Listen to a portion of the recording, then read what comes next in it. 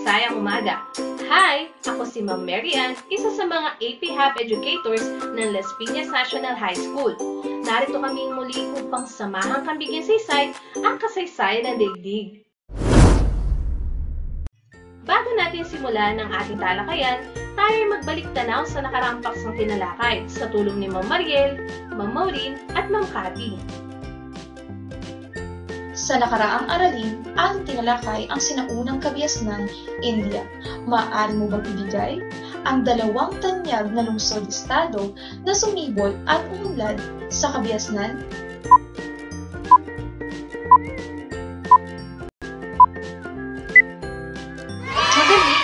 Ang dalawang lungsod na sumibol at umunlad sa lambang ilog ng Indus ay ang Mohenjo-daro at Harappa. Ano naman ang dahilan ng pagbagsak ng mga lungsod-estado ng Mohenjo-daro at Harappa?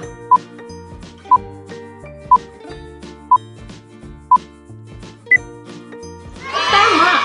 May iba't ibang paliwanag ukol sa pagtatapos ng kabihas ng Indus. May nagsasabing bunga ito ng pagkaubos ng puno, labis na pagbaha, pagbabago sa klima, at paglusob ng mga pangkat nomadiko pastoral mula sa gitnang Asya. Ano ang mga pagbabagong naganap sa kabias ng Indus noong dumating ang mga Aryan?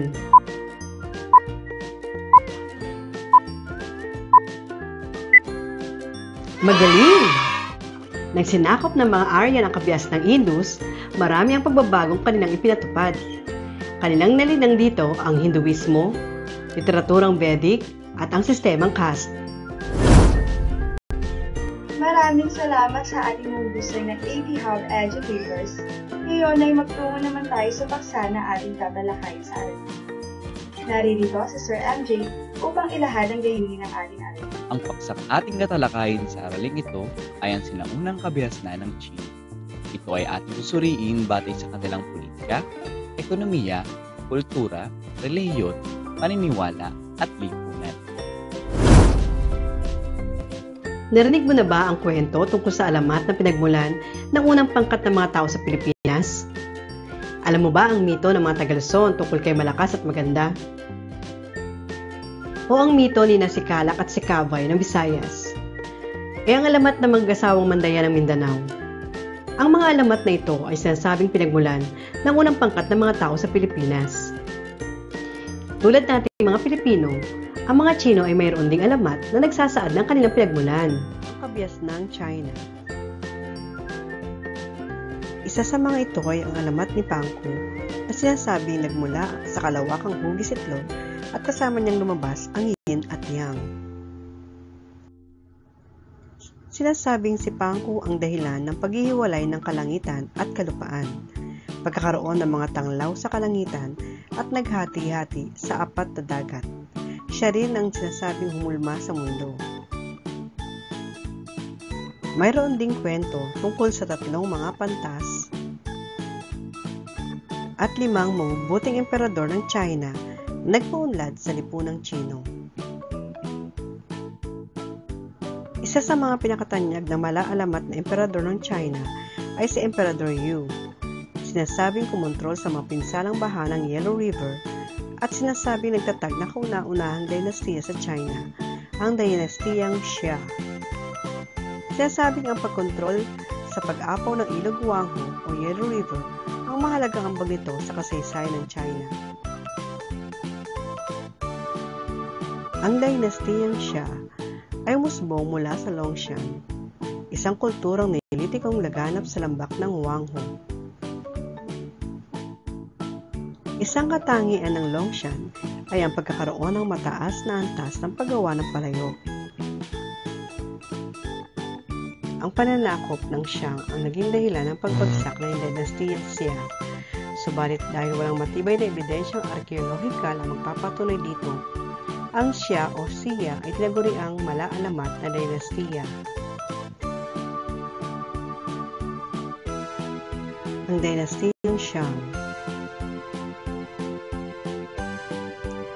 Sa loob ng mahabang panahon, ang mga taong namuhay sa panahon ng dinastiyang Xiang ay pinaniniwalaang isang alamat lamang.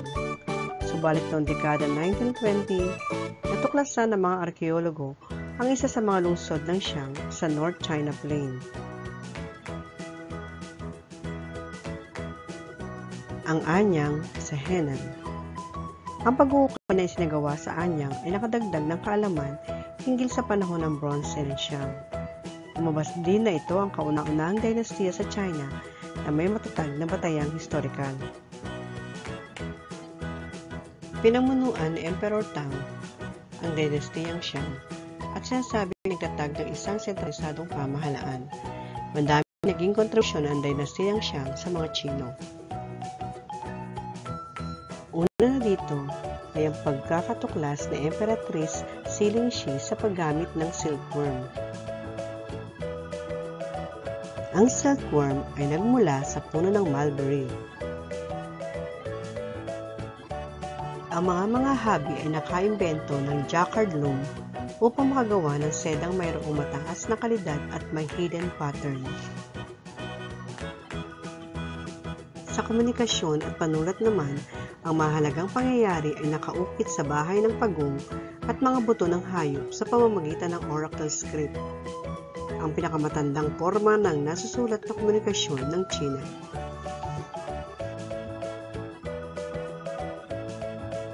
Gumamit din ang mga Chino ng oracle bone upang malaman ang kapalaran ng pinuno at ng kanyang nasasakupan. Ito ay isa ring paraan ng pagkipag-usap sa kanilang Diyos at namatay na ninuno. Ang mga Chino noong panahong ito ay gumamit din ng mga bronze sa paggawa ng kanilang mga kagamitan. Ang mga bagay na nangyari sa bronze ay hindi lamang nakakaapekto sa pang-araw-araw na pamumuhay ng mga tao, kundi maging sa armas ng Estado. Gumamit din sila ng karawayang kabayo at elepante bilang sasakyang pandigma. Nagkaroon din sila ng sistema ng irigasyon para sa kanilang mga pananim. Ang kalendaryong lunar ang siyang kauna-unahang kalendaryo ng mga Chino na naimbento ng Emperador Wang Di at unang ginamit noong dinastiyang Xiang. Ganon din ang kanilang sistema ng pagsulat na tinawag na calligraphy. Ito ay ginagamitan ng brotsa at ginuguhit mula sa itaas pababa at sinisimula ng pagsulat mula sa kanan.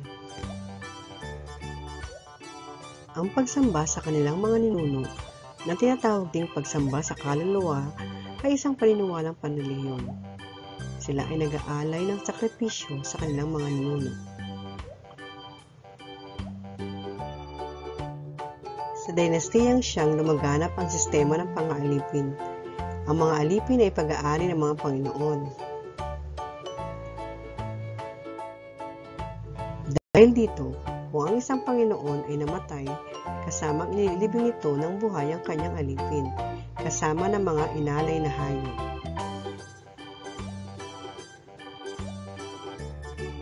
Ang pagiging malupit ng mga huling pinuno ang naging dahilan upang mapatalsik ng isang rebelyon ang huling emperador. Ang pananakop ng dinastiyang Chu ang sinasabing dahilan ng pagbagsak ng dinastiyang Shang. Ba ang Golden Rule? Siguro ay pamilyar ka sa kasabihang huwag mong gawin sa iba ang ayaw mong gawin sa iyo. Alam mo ba kung saan nagsimula ang kasabihang ito? Sa puntong ito, iyong malalaman kung saan nagsimula ang kasabihang ito at ang katangian ng dinastiyang pinagmulan nito. Ang kasabihang ito ay nagmula sa dinastiyang Zhou, ang pinakamatagal na dinastiyang namayani sa China sa loob ng siyam na raang taon.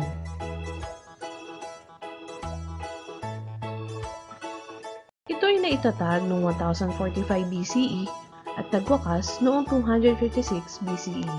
Sa panahong ito, nagsimula ang pagiging makapangyarihan at paglawak ng teritoryong sakop ng kabihas ng Chino.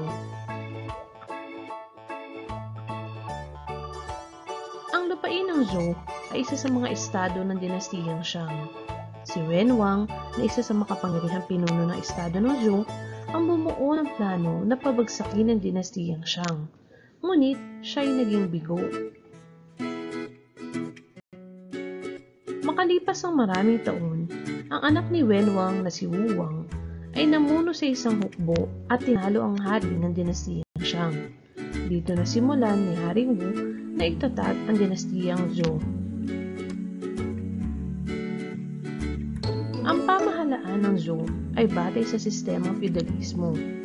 Hinati ng emperador ang lupa sa mga fief. Karaniwang pinamumunuan ng kamag-anak ng hari ang mga fief. Ang mga maharlika na namuno sa mga fief ay karaniwang nagmamay-ari ng mga magsasaka na nagtatrabaho sa kanilang mga lupain.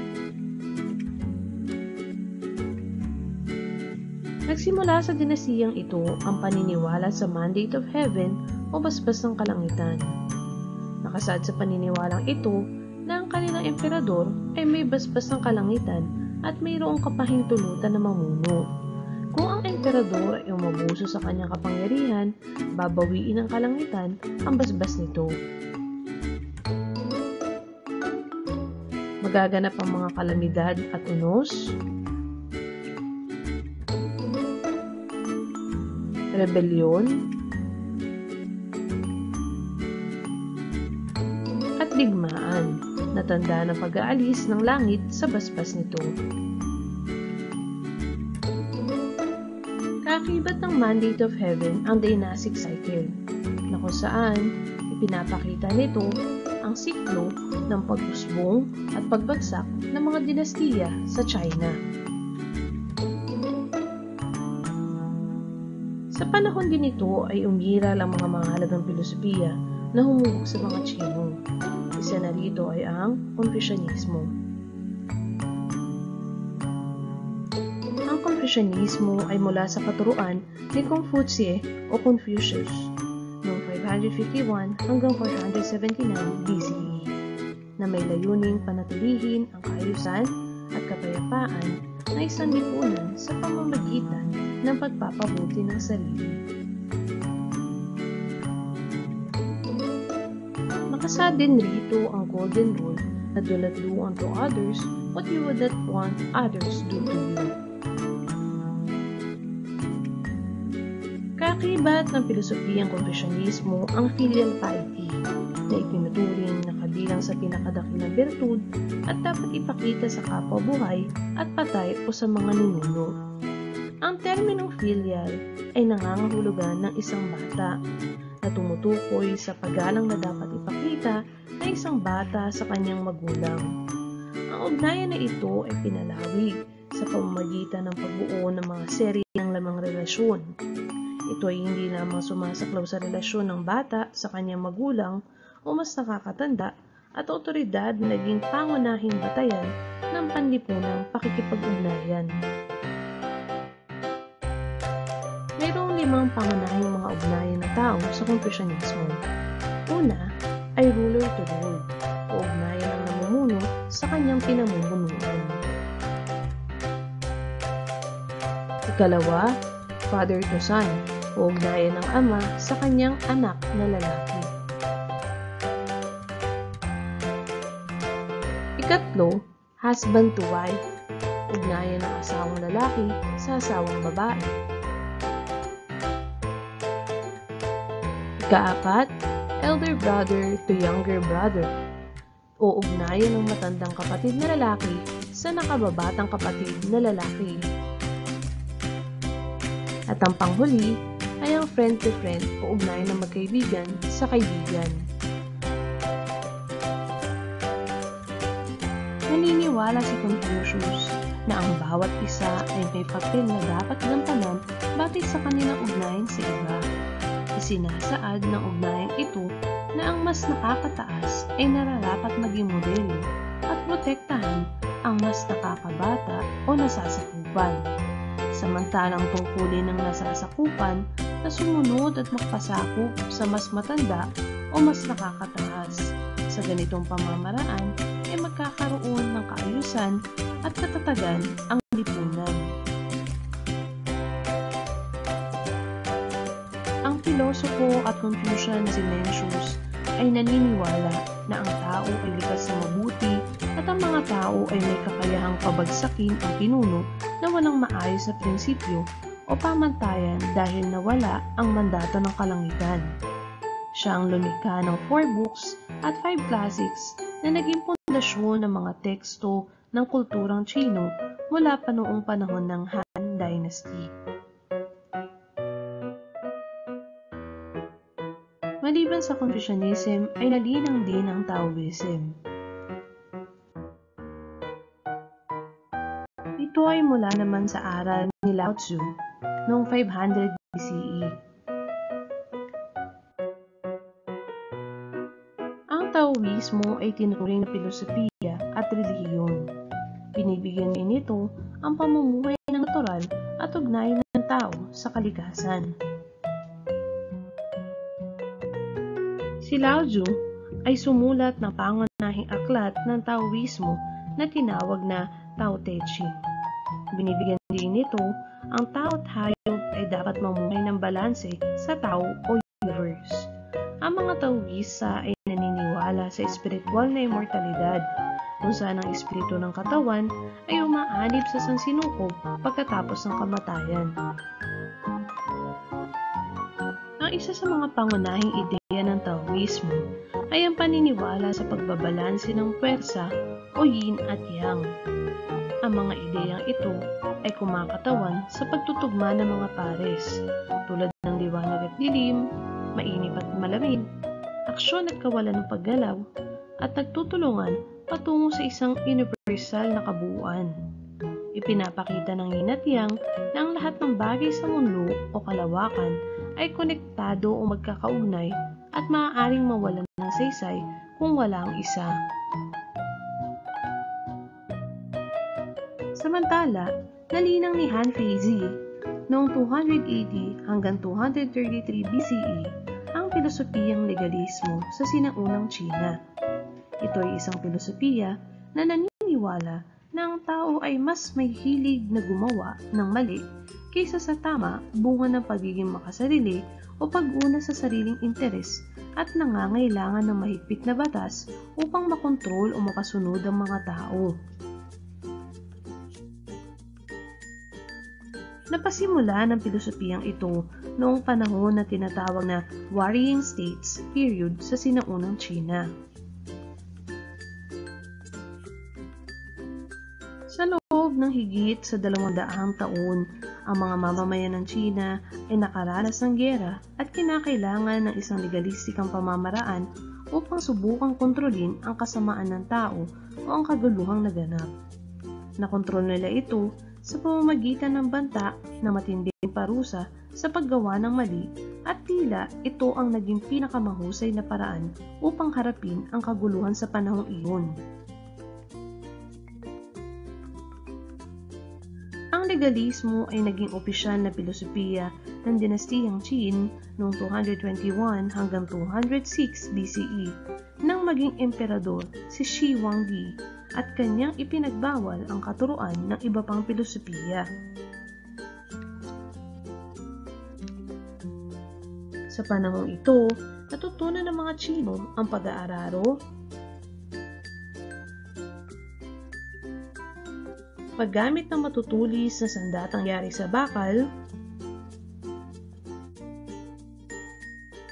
kanala rin pinaunlad ang patubig at irigasyon na kinilala bilang hydraulic engineering para sa kanilang mga lupaing sakahan. Noong 475 BCE, sumiklab ang digmaang sibil sa pagitan ng pitong maliliit na estado, ang Qi, Chu, Yan, Han, Zhao, Wei, at Qin sa kaharian ng Zhou. Ang panahong ito sa kasaysayan ng China ay tinawag na period of the worrying states. Sa panahong ito, hindi ganap ang kapangyarihang politikal na dinastiyang Zhou sa China.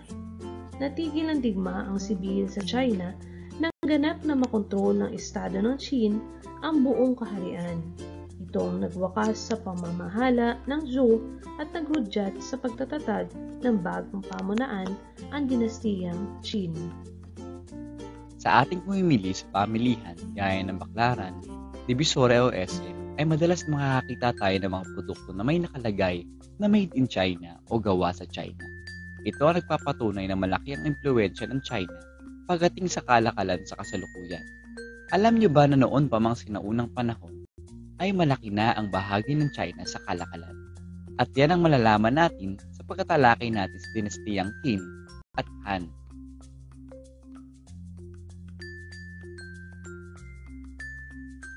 Napalitan ng dinastiyang Qin ang dinastiyang Chu sa pamumuno ni Ying Sheng na mas kilala bilang Shi Huangdi o unang emperador. Sa tulong ng kanyang tagapayong politikal na si Li Shu, ay napag-isa ang mga nagdidigmaang estado sa China at ipisinailalim sa iisang kapangyarihan at ipinairal ang legalismo. Itinuturing na pinakamataas ang emperador sa dinastiyang Qin na pinaniniwala ang nagtataglay ng mandato ng kalangitan. Ang mga maharlika at mandirigma ay mahalaga ang ginampan ng papel sa lipunan dahil na din sa kanilang papel sa pagpapanatili ng kaayusan at kapayapaan sa pagitan ng mga estado at sa pagpapalaganap ng legalismo. Sumunod naman sa mga maharlika at mandirigma ay ang mga magasaka at mga lakal na malaki ang ginampan ng papel sa pagpapaunlad ng ekonomiya ng dinastiyang Qing sa pamamagitan ng agrikultura at pakikipagkalakalan. At sa huli, ang pinakamababang antas ay ang mga alipin na isa sa mga naging papel ay ang pagkatayo ng mga infrastruktura tulad ng Great Wall of China. Naging pangunahing proyekto ng dinastiyang Qin na pagpapatayo ng Great Wall of China. Inutos ito ni Shi Huangdi na pagdugtungin ng mga pader na binuo ng mga naunang dinastiya upang makabuo ng isang pader na tinatawag na Great Wall na may 1,500 milya ang haba Tinatayang aabot sa milyon ang mga alipin na sa pilitang pinagtrabaho upang buo ang pader na ito. Ito ay ginamit upang maging tanggulan at harang sa mga sumusugod na grupong nomadiko. Bukod sa Great Wall of China, nagpatayo din ng mga kanal at mga kalsada na nagbigay daan sa mas mabilis at madaling transportasyon. Sa tulong ni Lishu, mas pinadali ang sistema ng pag-usulat upang mas maraming tao ang matuto na bumasa at sumulat. Ang mga paniniwalang bukod sa legalismo ay hindi tinanggap sa dinastiyang Qin.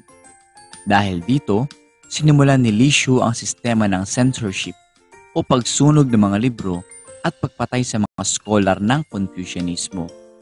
Ang ganitong polisiya ang isa sa mga naging dahilan ng paghina at pagbagsak ng dinastiyang Qin. Sa pagkamatay ni Shi Huangdi, ay nawala ng pumalit na magaling na pinuno. Dahil dito, nagrebelde ang mga Chino at tuluyan nang bumagsak ang dinastiyang Qin. Noong 202 BCE, itinatag ni Gaozhou ang dinastiyang Han at itinuring ang sarili na great ancestral father. Sa pamamayagpag ng dinastiya sa loob ng 400 taon, iniwasan nila ang marahas na pamumuno at niyakap ang Confucianismo. Ito ang isa sa mga dinastiya kung kailan umunlad at lumawak ang kalakalan at kanilang teritoryo. Ang paglawak ng teritoryo at pag-unlad sa kapangyarihan ay nagsimula sa pamumuno ni Wudi. Nasakop niya ang teritoryo ng mga barbaro sa timog at timog silangang bahagi. Umabot din ang kanilang kapangyarihan sa malaking bahagi ng Manchuria at Korea. Sa kanyang pagkamatay, umabot ang teritoryo ng dinastiyang Han hanggang sa hilagang bahagi ng India. Ang pangunahing kabuhayan na nagpaunlad sa dinastiyang Han ay ang pakikipagkalakalan. Isa sa pangunahing kalakal na kilala ang China ay ang seda o silk na umaabot hanggang sa Europa. Dahil sa kalakal na ito, madaming mga lugar katulad ng India, Persia at Roma ang pumupunta at nakikipagkalakalan na naging dahilan sa pagkakabuo ng tanyag ni Silk Road. Ang ruta na ito ay tinatayang may habang 4,000 milya at ang kalakalang ito ang nagpaunlad hindi lamang sa ekonomiya, kundi maging sa kultura ng dinastiyang Han. Panahong ito, ang mga nakapag-aral o edukado ay pinapahalagahan sa lipunan. Naniniwala sila na mahalaga ang edukadong opisyal sa pagpapatakbo ng kanilang lumalawak na teritoryo. Dahil dito, ipinaputupad ng dinastiyang Han ang civil service system na nagbibigay ng pagsusulit sa mga gustong humawak ng posisyon sa pamahalaan. Ang pagsusulit na ito ay nakabatay sa pilosopiyang Confucianismo. Nang lumaon, napalitan sa hierarkiya at pamahalaan ang mga maharlika ng mga edukadong opisyal. Ang dinastiyang Han ay kilala sa mga kamanghamanghang antas ng agham at teknolohiya. Sa panahong ito, naging masusi ang pag-obserba ng mga Chino sa mga bituin, planeta at araw na pinaniniwala nagbibigay mensahe galing kalangitan. Dahil dito, ang mga astronomers ay nakapag-imbento ng kalendaryo, water clocks, star maps, at iba pang mga kagamitan pang astronomy. Kagawa din sila ng magnetic compass at kagamitan na makakapagtaya ng paggalaw ng lupa o lindol. Kilala rin ng China sa paggawa ng porselanan na nakakakitaan ng makinis at pinong tekstura. Noong 220 CE, nahati ang dinastiyang Han sa iba't ibang kaharian. Nagkaroon ng madalas sa dimbaan sibil at alitan sa politika. Hindi na din naging mabisa ang civil service system. Ito ang naging dahilan ng unti-unti paghina at pagbagsak ng dinastiyang Han. Sa bahagi ito, inyong tutukuyin kung anong dinastiya ang inilalarawan ng bawat pahayag. Una, ang dinastiyang ito ang tinuturing na pinakamahabang dinastiya sa China at pinagsilangan ng mga tanyag na pilosopo.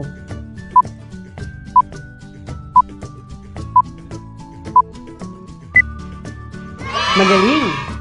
Mama Maureen, maaari ka bang magbigay ng maikling impormasyon ukol sa dinastiyang Chu?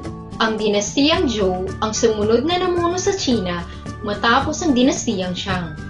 Ito ang itinuring na pinakamatagal na namunong dinastiya sa China. Ilan sa mga dakilang pilosopo na isinilang at nakilala noong panahon na ito ay sino Confucius, Mencius, at Lao Tzu. Ikalawa, sa dinastiyang ito, unang nasimulan ang pagtatayo ng Great Wall of China.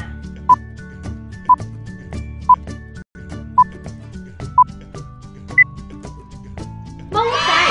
Ma'am Lorraine, maaari mo bang ilarawan ng Great Wall of China? Ang Great Wall of China ay pinatayo ni Xi upang madepensahan ang kanyang nasasakupan mula sa numalikong pangkat. Ang dakilang pader na ito ay tinuturing na isa sa Asian Wonders of the World. Sa dinastiya na ito, naging opisyal na filosofiya ng China ang Confucianismo.